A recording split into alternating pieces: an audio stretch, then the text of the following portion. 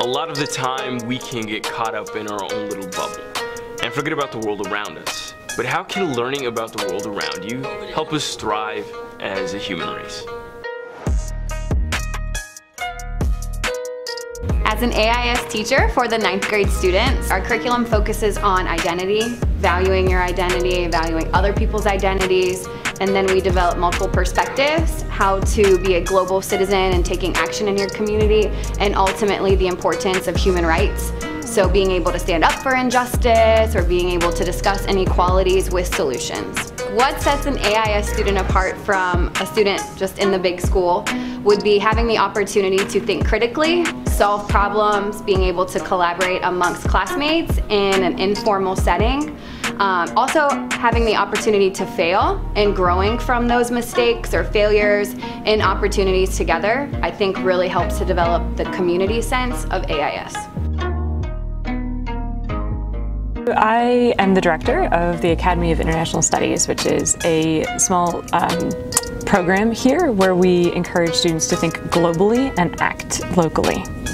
So we really focus on uh, a plethora of ways. So we use content that is uh, rich and diverse. So we try to explore at least all of the continents within the four years that they're here, whether it's from, you know, a small African nation all the way to, you know, Pakistan, for example. We do a lot with uh, the I Am Malala, uh, as well as news, current events. So issues that matter to us that are coming out of both the United States as well as uh, globally.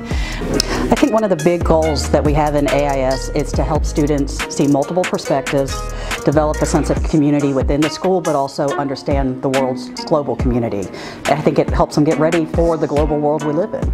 An AIS student is taught to see the world through different lenses and to hear every student's different perspective and build our own opinions. My experience in AIS has really helped me to learn how to understand other people's opinions and perspectives and all the teachers really care and help you with that goal in the end. Being able to entertain different perspectives, being able to have conversations instead of debates, being able to listen to each other is really important. I think that's what AIS helps do. But I also think I look at the restorative practices Mr. LeGrand has us doing as a large school, and I think AIS has been doing that for a while. I am in a position where I'm able to see them all the way from their freshman all the way to their senior years.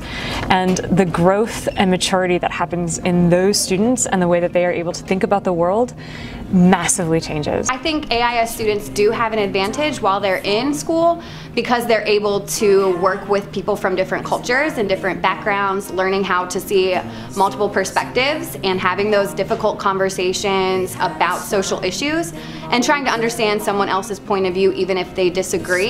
Outside of school, once our AIS students graduate, I think they have an advantage because they've really developed these 21st century skills of being able to communicate effectively, collaborating with peers, being able to be flexible, try to find solutions for ideas or problems in a new, creative, even innovative way. A lot of our great work happens in our seminars, and our seminar teachers have these really great discussions with students based on globally global events and global skills that they're going to need. I find that my students are problem solvers. They can take a really complex idea that is not necessarily a math or um, science-based problem, but use every different area of their education to solve a problem. Uh, they are truly our global leaders of the future. So are we the only ones in the universe? I don't know. But I know we're not the only ones on this planet. So let's cooperate. Let's get to know each other just a little more.